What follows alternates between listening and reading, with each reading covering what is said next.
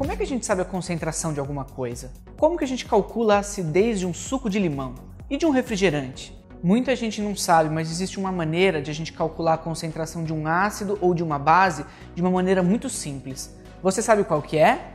Não? O meu nome é Pedro Trevisan e hoje nós vamos falar sobre reações de neutralização de ácidos e bases.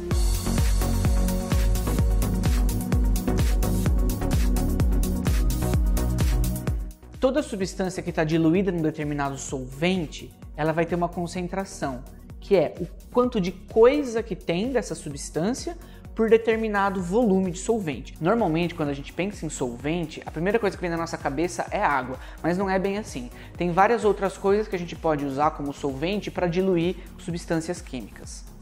Geralmente, a gente mede a concentração de, uma, de alguma coisa em mols por litro, que é a quantidade de matéria para cada litro do solvente. No nosso caso aqui vai ser a água mesmo. Se a gente está falando da concentração de um ácido ou de uma base, a melhor maneira de descobrir essa determinada concentração é fazer uma reação de neutralização entre essa substância que a gente não conhece concentração com uma substância que a gente sabe tudo sobre ela, que a gente conhece o volume, que a gente conhece a concentração e tudo mais.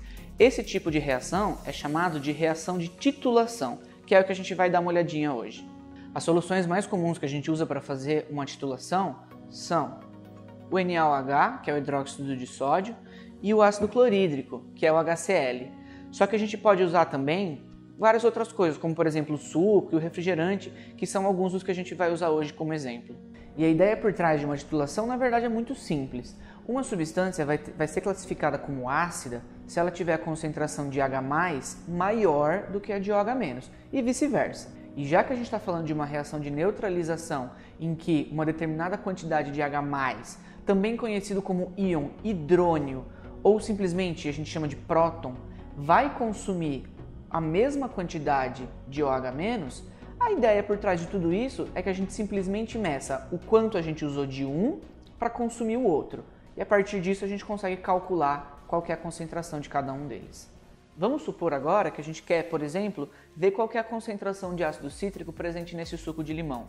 É muito simples, basta a gente ir adicionando de pouquinho em pouquinho alguma substância básica, como por exemplo o hidróxido de sódio, que a gente já viu, até o suco neutralizar totalmente a gente vê o quanto de base que a gente usou e fazer o cálculo para isso.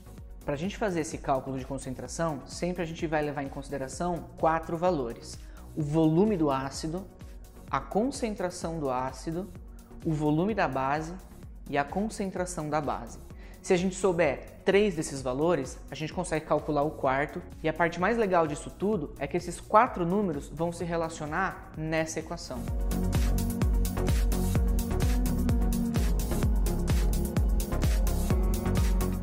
Beleza, a gente tem aqui então tudo que a gente precisa para fazer a nossa reação de titulação, que é a solução de concentração desconhecida, no nosso caso aqui é o suco de limão com uma concentração de ácido cítrico desconhecida, e a gente tem a base de concentração conhecida. Mas o pulo do gato de uma reação de, de titulação é a gente saber exatamente quando o pH chegou no nosso valor esperado. E para isso, a gente vai usar um indicador de ácidos e bases. Esse indicador é tipo um corante que vai fazer com que a solução toda mude de cor quando o pH atingir um determinado valor.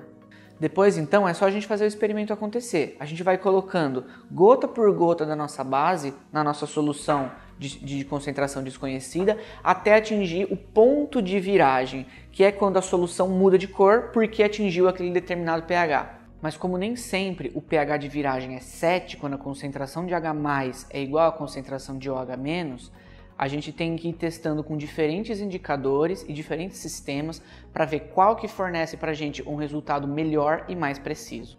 Só para lembrar que o que a gente está fazendo aqui é uma simulação, é uma demonstração de como seria uma reação de titulação. Normalmente, a gente usa outros equipamentos para fazer esse tipo de experimento.